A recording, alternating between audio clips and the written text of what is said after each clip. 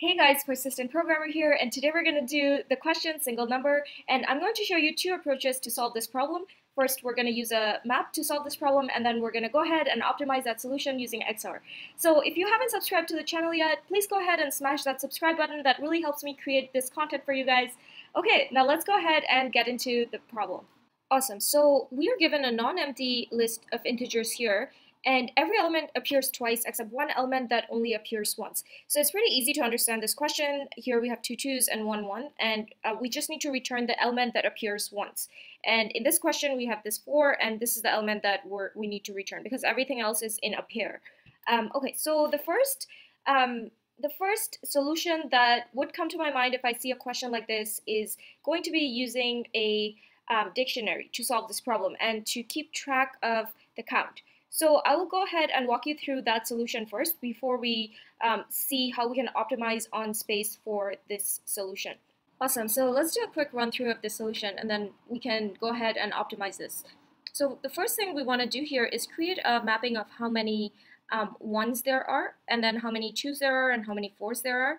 So our map will look like this. So we will index it by the number. So for example, 4 will be mapped to 1 and then 1 will have um, frequency 2 and then 2 will also have frequency 2 right? So at the end of this what we can do is we will iterate over the map and return the item with the frequency 1 because that is the single item. And we'll just go ahead and grab this 4 here and then return this. So in terms of time and space complexity the time complexity for this is going to be O of n and the space complexity is also going to be O of n. And that's because we are creating this external structure to store our um, data while processing, right? So let's go ahead and look at this code quickly and then we'll come back here and optimize this using XOR. Awesome, so I've created my frequency dictionary here, which is what we will use to track our, all our mappings. And what I'm going to do now is iterate over my nums list. So say for num in nums, um, I'm going to check if that number is uh, not in frequency, then what I'm going to do is index by that number. So I will say frequency num is equal to 1. So I want to initialize it to 1.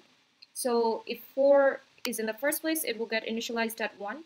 And all the other numbers here will get initialized to 2. So if I just return the number that only has a count of 1, um, then I will have that single number, which is what I'm looking for. Okay, so that's the first uh, case. And then else, we will, if that number occurs again, that means it's not a um, single number, so we will increment the count. So I will say frequency num plus equal 1, okay? So that's good. And then lastly, what I'm going to do is iterate over my nums array again.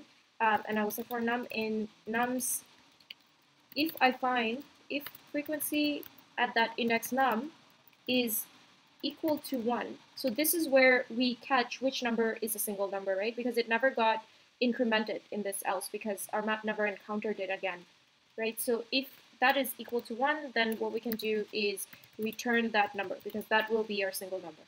Okay, so let's give this a run. Okay, awesome, and submit. Awesome, so that works. All right, now let's move on to our second, more optimized solution. Okay, awesome. Now let's see how we can use XOR to solve this problem. So the advantage of using XOR is that we can do this in place. So while our time complexity will still be the same, we will now reach um, a O of 1 space complexity using this solution.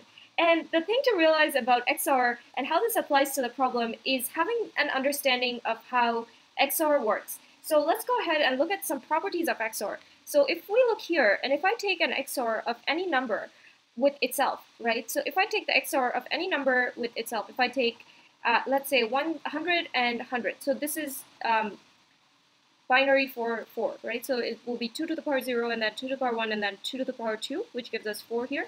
So if I convert this to binary and I have 100, and if I do 100 and then I XOR 100, right?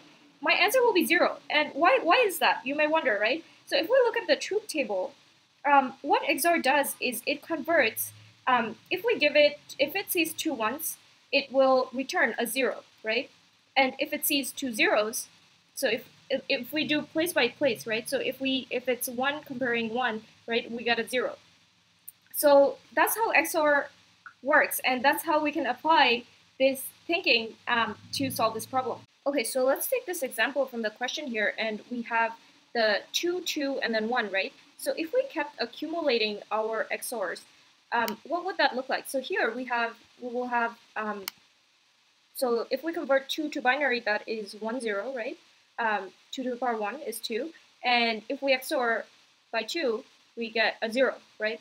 And if we keep XORing by 1, um, 0 XOR 1, you can see here, 0 XOR 1 will give you 1, right? So that's how we, we know which one is not cancelled out. Like which element in our uh, number is in our list is not cancelled out. Okay, now you're probably wondering if the arrangement was in this way where the 1 was in the middle, would the XOR still work? And the answer is yes, it would still work because when we do the XOR of these two and then do the XOR of um, the next element, the similar bits would still get canceled out and leave the bit that does not did not um, equate to zero and give us the result zero for our XOR, right? So that's how we will be able to find out what is the item that we did not XOR with itself. And that will be the single item. Awesome, so I'm back in LeetCode again, and this time we're going to create our accumulator, so I will call this ACC. This is where we're going to store our, keep storing our XOR values in the loop. So I will initialize this to zero, and then what I'm going to do is iterate over my nums. So for num in nums, um, I'm going to uh, use the accumulator to XOR the numbers. So I will say ACC um, XOR uh, equal to nums num. Okay, yeah. So I'm I I will keep accumulating the num, and then what we're going to be left with is just the number that uh, didn't equate to zero. So we are going to go ahead and return return the accumulator because that will be holding that value that is not zero, right? That is a single number. Okay, so it looks good. Let me go ahead and run this code. Okay, looks like it's working. Awesome, that works. Please subscribe to this channel if you haven't already. This way I can create more content for you guys and help you guys out in solving these questions. If you have any questions or if you want to share your solution below, you're welcome to do that in the comments. If you have any questions, uh, please leave them in the comments as well. I will do my best to answer them. All right, happy coding, guys.